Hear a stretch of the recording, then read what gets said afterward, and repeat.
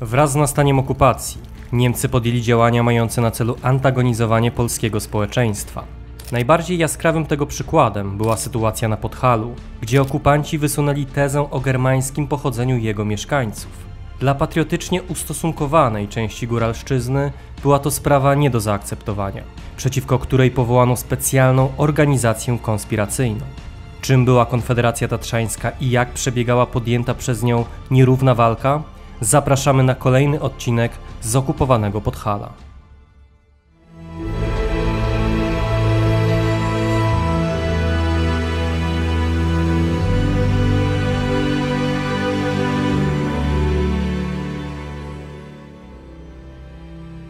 Partnerem filmu jest Muzeum Palas, filia Muzeum Tatrzańskiego w Zakopanem imienia Tytusa Chałubińskiego. Mecenasem dzisiejszego odcinka jest pan Radosław Kuśmierz. Podhale, jak i również Małopolska, z racji swojej bliskości względem granic z Rzeszą Niemiecką, zostały błyskawicznie zajęte przez wojska niemieckie. Już w pierwszym tygodniu wojny obronnej Niemcy wkroczyli do takich miast jak Zakopane, Nowy Targ czy Kraków. Od pierwszych dni zaczęli również wprowadzać swoje zbrodnicze plany w życie, czego symbolem były oddziały Einsatzgruppen. Ich funkcjonariusze, w oparciu o przygotowane wcześniej listy proskrypcyjne, podejmowali akcje represyjne względem wybranych Polaków. Oddziały te były zarazem zalążkiem przyszłego systemu policyjnego, którego symbolem stała się tajna policja polityczna, czyli Gestapo. Mimo przegranej wojny obronnej, zauważalnej przewagi niemieckiej armii nad polskim wojskiem i wspomnianym wcześniej systemie policyjnym, Podhalanie, podobnie zresztą jak pozostali Polacy, błyskawicznie przystąpili do pracy konspiracyjnej. Najpierw luźna, potem coraz lepiej zorganizowana działalność podziemna w pierwszych miesiącach wojny na Podhalu objawiła się głównie za sprawą działalności tzw. Tak kurierów tatrzańskich. Ich głównym zadaniem było przeprowadzanie wojskowych przez górskie szczyty na Słowację, następnie na Węgry, skąd później udawali się do Francji, by tam przystąpić do odradzającej się polskiej armii. Kolejnymi zadaniami kurierów był przemyt pieniędzy i dokumentów, dzięki którym można było wspomóc rodzącą się konspirację. Ich działalność była tak skuteczna, że mieli zwyczaju mówić, choćby Niemcy stanęli na całej granicy i złapali się za ręce, my i tak przejdziemy. Spośród taterników wyróżniali się między innymi Bronisław Czech, rodzeństwo Marusarzów czy Wanda Modlibowska. Kurierek i kurierów było oczywiście więcej. Każdy z nich wykazał się niezwykłą odwagą. Tym bardziej ponurym pozostaje fakt, że nie wszyscy górale wykazali się podczas wojny patriotyzmem. Na Podhalu, zarówno z inicjatywy jego mieszkańców, jak i również Niemców, powstał jedyny bodaj w całym okupowanym kraju, a przez to niezwykle wstydliwy ruch kolaboracyjny. Na jego czele stanął nomen omen bardzo zasłużony dla góralszczyzny Wacław Krzeptowski. Wspomnianym ruchem był oczywiście. Tak Goralenfolk, czyli naród góralski. Otóż Niemcy przy pomocy m.in. Henryka Szatkowskiego i Witalisa Widera zaczęli lansować tezę o germańskim pochodzeniu mieszkańców Podhala. Dla poparcia tej idei wykorzystywano rozmaite argumenty – jak m.in. porównanie góralskiego śpiewu do bawarskiego jodłowania, czy podkreślanie regionalnej autonomii góralszczyzny względem pozostałych regionów Polski, czy co najbardziej działało na wyobraźni i działa do dzisiaj, porównywanie góralskiego symbolu szczęścia, jakim był krzyżyk niespodziany, do nazistowskiej swastyki. Główną jednak rolę, poza powyższymi aspektami, odegrał najpewniej szantaż i udane próby przekupstwa Wacława Krzeptowskiego, mającego przed wojną spore długi, które okupant błyskawicznie anulował. Ponadto obiecano mu rolę Goralenführera, czyli góralskiego księcia, który w przyszłości obejmie władzę nad góralskim księstwem. Krzeptowski dał temu wiarę, w której umacniał go wspomniany wcześniej Henryk Szatkowski, de facto twórca idei Goralenfolku. Bardzo szybko zresztą doszło do wydarzeń, które zaszokowały całą Polskę. Już 7 listopada 1939 roku, czyli w dniu objęcia przez Hansa Franka urzędu generalnego gubernatora dla okupowanych ziem polskich, na Wawel przybyła delegacja górali w regionalnych strojach, którym przewodził nikt inny, jak właśnie Krzeptowski. Frankowi Podarowano wtedy złotą ciupagę i zapewniono go o wierności góralszczyzny względem władz niemieckich, a następnie zaproszono, by ten odwiedził Zakopane, co Hans Frank uczynił już 12 listopada. Na jego przyjazd stolica Tadr została przyozdobiona swastykami, a na ulicy Kościuszki ustawiono specjalną bramę. Hansa Franka przywitał osobiście Krzeptowski, który zwrócił się do Niemca słowami Meine lieben Kameraden, 20 lat jęczyliśmy pod polskim panowaniem, a teraz wracamy pod skrzydła wielkiego narodu niemieckiego. Spotkanie zostało uwiecznione na fotografiach, a następnie przedrukowano je w oficjalnej tzw. Tak gadzinowej prasie. To były sceny, które zszokowały cały okupowany kraj, a w szczególności tych górali, którzy doskonale wiedzieli, że zmycie tej hańby będzie diabelnie trudne. Z podobną nabożnością Krzeptowski witał w styczniu 1940 roku Heinricha Himmlera, Podhale, a w szczególności Zakopane, ze względu na swoje walory turystyczne stało się miejscem chętnie odwiedzanym przez Niemców, dla których urządzano specjalne spotkania i pokazy, mające na celu przybliżyć im kulturę górali. Pewnym momencie Goralenfolk zaczął przybierać coraz bardziej sformalizowane kształty. Przedwojenny Związek Górali został zamieniony w Goralenverein, a w kwietniu 1940 roku został oficjalnie poparty przez Hansa Franka. Na Podhalu zaczęto otwierać góralskie szkoły i klub sportowy, a w czerwcu przeprowadzono spis ludności góralskiej, której planowano wydać specjalne kękarty, różniące się od tych przeznaczonych dla reszty Polaków. Była to chęć wybadania kolaboracyjnych nastrojów wśród górali, którzy wybierając kękartę z literą G mieliby oficjalnie wspierać Goralenfolk. Liczył się oczywiście jak najwyższy wynik, a żeby go uzyskać, uciekano się do szantażu i przemocy. Ostateczne wyniki nie były jednak zadowalające. Na ogólną liczbę około 150 tysięcy tego typu kart pobrało je zaledwie od 27 do 30 tysięcy górali, co dało niespełna 20% oficjalnie wspierających Krzeptowskiego. Pamiętać należy przy okazji, że spora część pobierała kartę w wyniku strachu, a jeszcze inni, aby ukryć tym faktem swoje konspiracyjne powiązania. Tym miernym poparciem ani Krzeptowski, ani tym bardziej Niemcy nie mieli zamiaru się chwalić.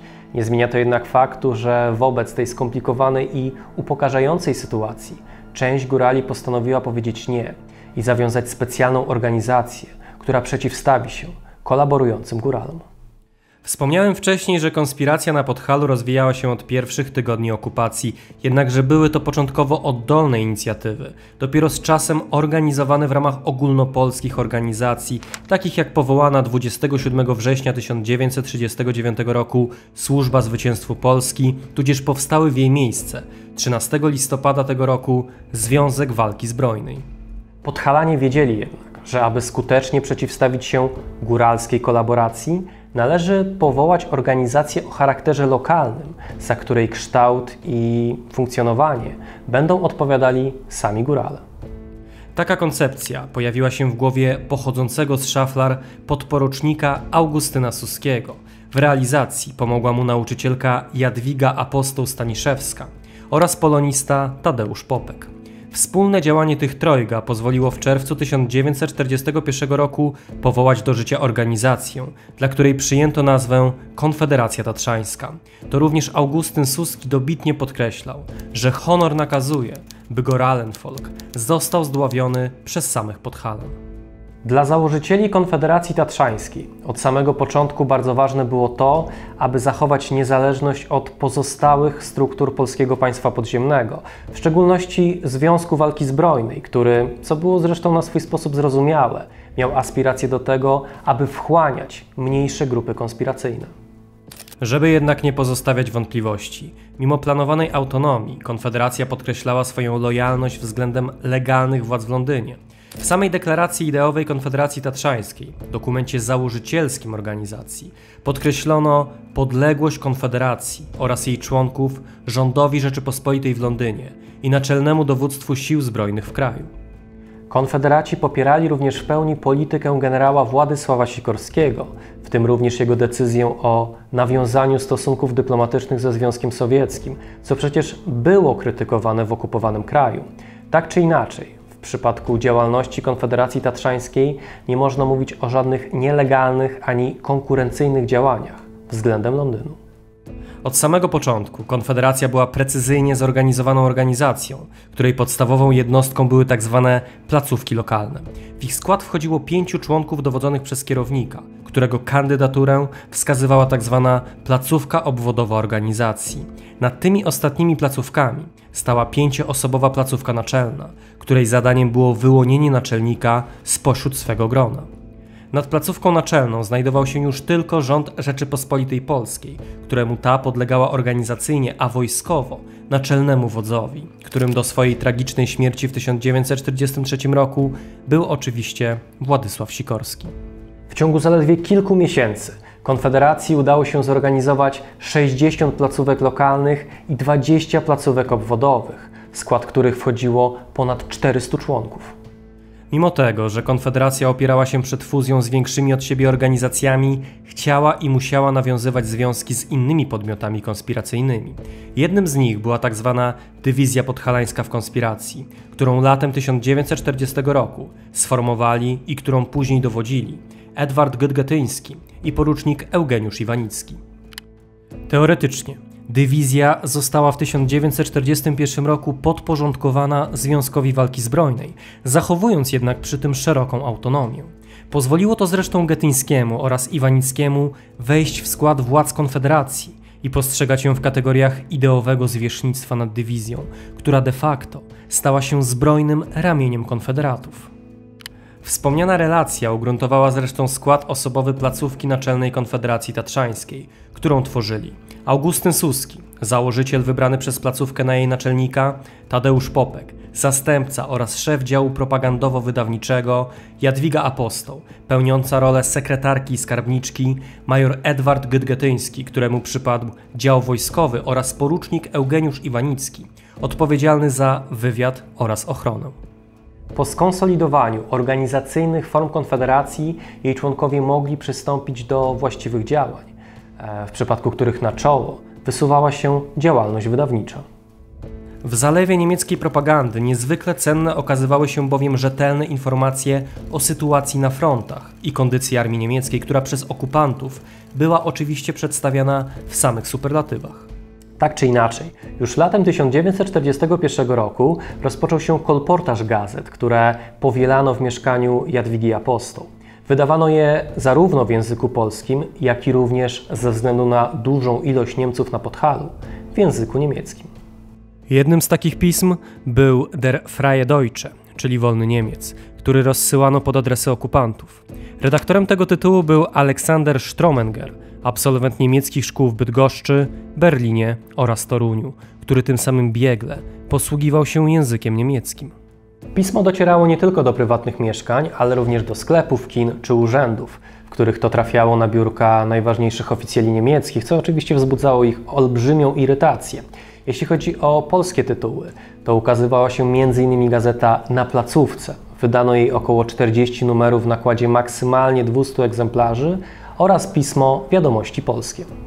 Kolejnym elementem aktywności Konfederacji była działalność wywiadowcza, którą prowadzili zakonspirowani polscy policjanci, tzw. Tak granatowi, czyli funkcjonariusze Polnische Polizei, formacji powołanej przez generalnego gubernatora Hansa Franka 17 grudnia 1939 roku.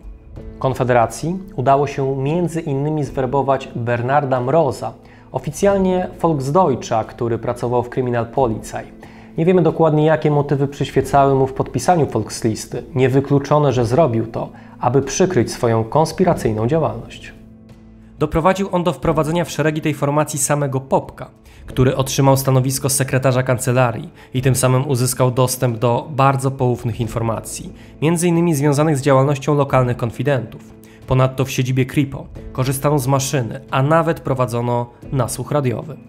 Po odpowiedniej organizacji Konfederacja mogła przystąpić również do działalności dywersyjnej, w której na czoło wysuwał się oddział dowodzony przez Józefa Kurasia, pseudonim Orzeł, który po zamordowaniu przez Niemców jego rodziny przyjął pseudonim Ogień.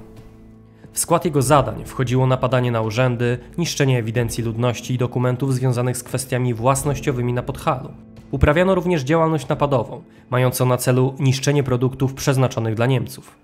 Konfederaci, pomimo naprawdę dobrej organizacji, a może właśnie ze względu na nią, szybko zwrócili uwagę Niemców, którzy już pod koniec 1941 roku złapali trop.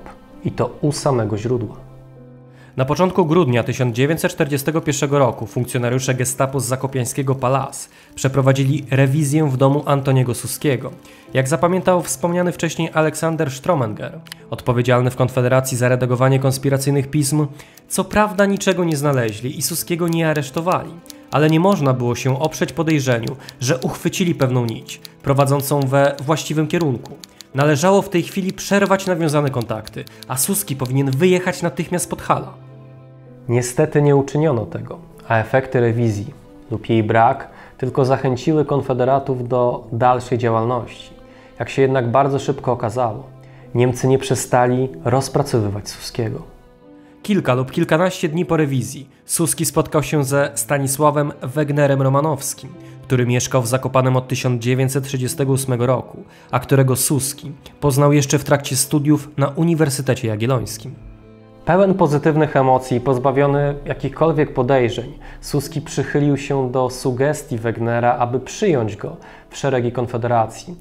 Warto jednak zauważyć, że Wegner dysponował naprawdę niezłym portfolio. Wcześniej był zaangażowany w ZWZ, gdzie prowadził działalność wywiadowczą i również w przypadku Podhala zaczął chwalić się, że jest w stanie taką samą działalność prowadzić w szeregach gestapo.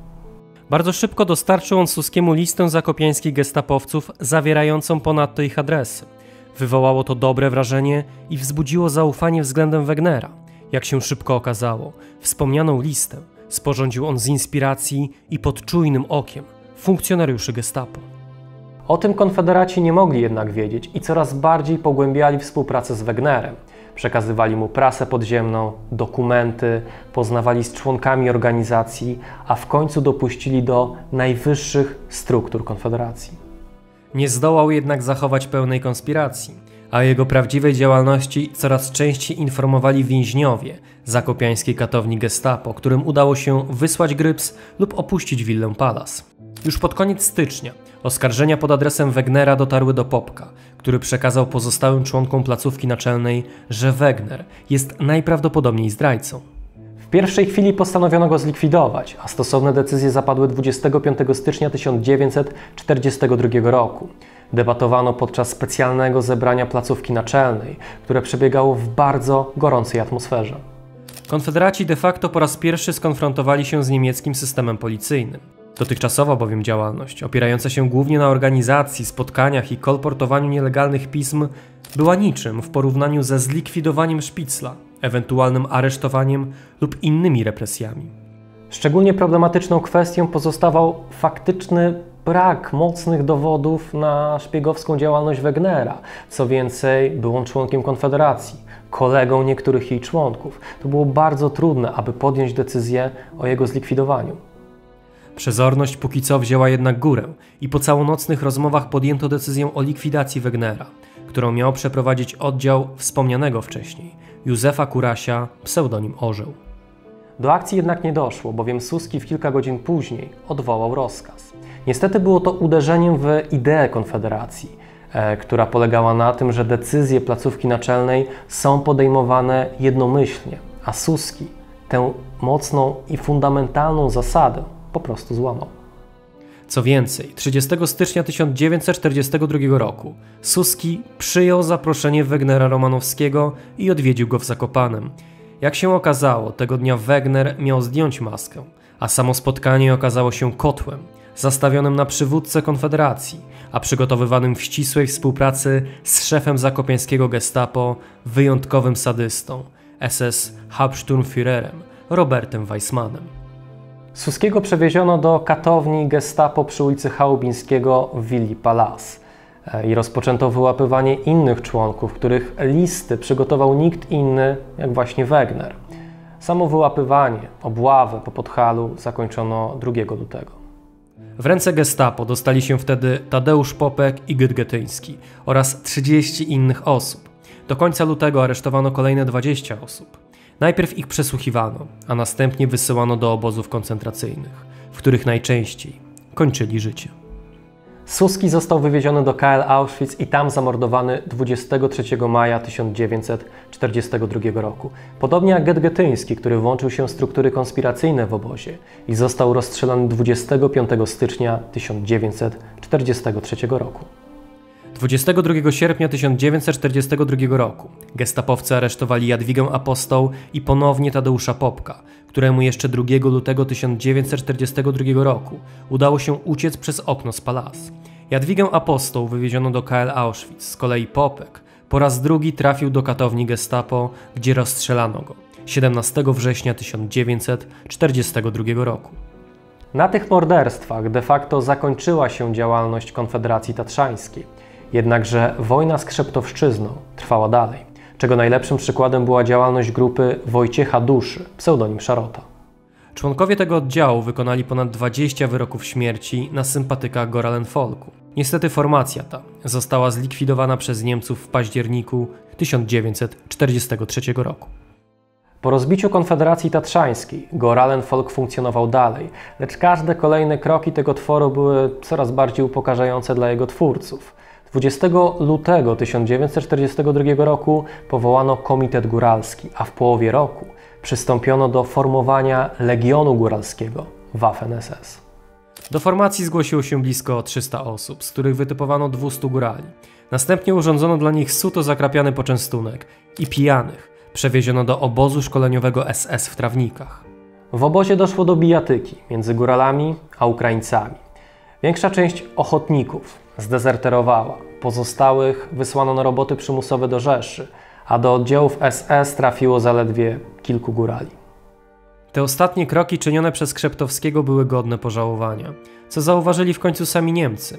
Mimo to jednak do oficjalnej świadomości okupowanej ludności przenikały jedynie oficjalne komunikaty, co powodowało wrogość Polaków względem górali, których lżono i opluwano, gdy w regionalnych strojach odwiedzali na przykład Kraków.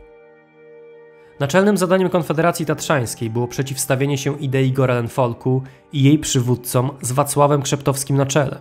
Dla twórców Konfederacji bardzo istotnym było to, aby pokazać, że z góralską zdradą walczą sami górale, spośród których większość nie akceptuje lansowanego przez Niemców ruchu.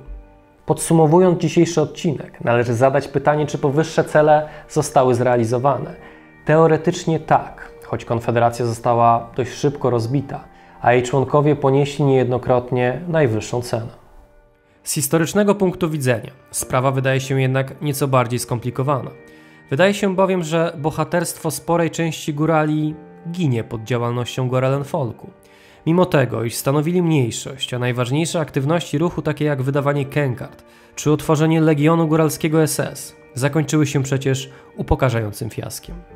Tym bardziej przykre jest to, że zdrada górali jest dzisiaj lepiej pamiętana aniżeli bohaterskie postawy części Podhalan. Nie powinno tak być, a nasze myślenie na temat góralszczyzny podczas II wojny światowej powinno ulec pewnej rewizji. Dziękuję Państwu za uwagę i do zobaczenia w kolejnym odcinku.